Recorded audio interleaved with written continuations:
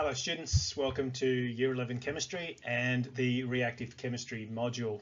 This is video number 10 and in this video we're going to just get a bit of an overview of some of the techniques that have been used uh, by the Indigenous peoples of Australia to detoxify their foods. One of the important things um, about science generally, um, and certainly chemistry in particular, is that it's it's a very very old subject. It's something that we've known about for a very long period of time, and people have been using chemistry techniques for thousands and thousands of years. The Aboriginal and Torres Strait Islander communities have a vast history of using chemistry um, in order to survive in their environment. And one of the things that we would like you to do is to become a little bit more familiar with some of the techniques that they used and indeed are still using in order to um, remove particularly a lot of toxic material from some of their fruits, uh, nuts and leaves. So in this particular video, I just wanted to touch on a couple of the techniques that have been used um, by the Indigenous people in Australia to um, give you an idea of not only what chemistry has been involved, but also the sorts of consequences of each of these actions. So I think probably the first thing to do is to just give you a little bit of a list of some of the different types of techniques that we do know about. Um, the first and probably one of the most important is leaching.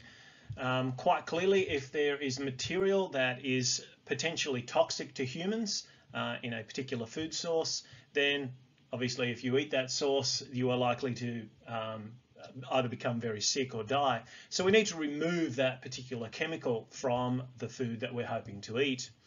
Leaching is one way of doing that. It's, it's about trying to draw out whatever material is present that is toxic in order to leave the um, material that is safe behind. There's a couple of ways in which this happens. Most of them are associated with physical kinds of um, chemical, uh, physical kinds of change, but some also involve chemical change.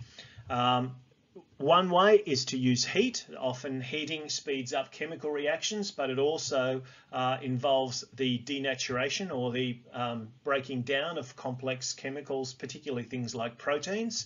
Um, it can uh, have an effect on the state of matter. So sometimes um, sufficient heat is enough to change the state from, say, a liquid uh, to a gas. But also chemistry like natural fermentation. We know that fermentation is actually a chemical process in which natural fungi in particular can be used to um, to anaerobically break down sugars into ethanol and uh, carbon dioxide. This also changes the chemical nature of the um, uh, chemicals present in a particular food source. Uh, often one of the techniques is to leave uh, material sitting in water for a long period of time. This is a particularly good um, technique that links into leaching and it's based on the fact that there's levels of solubility what I'll call solubility differences in the uh, different types of material that may be present in a particular food source. So um, often grinding occurs in order to break the material down a little bit.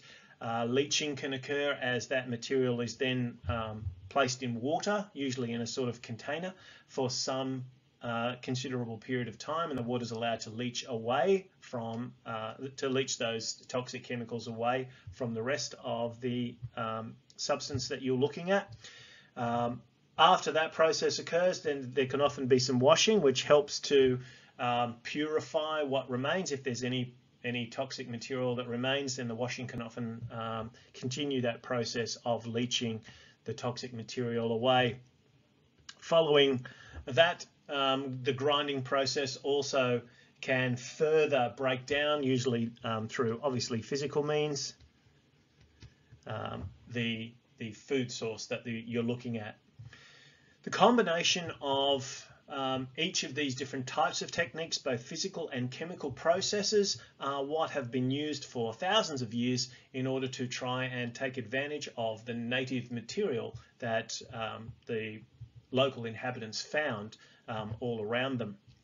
this particular um, I guess, focus area of your syllabus is best done as a case study, and we will be having a look in class at a specific example or, or multiple examples of where these processes of chemistry have been applied by Aboriginal and Torres Strait Islander peoples um, in order for them to um, safely consume materials, fruits, nuts and leaves in their environment.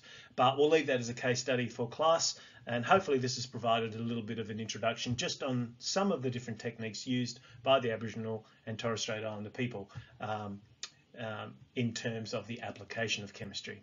Thanks for watching.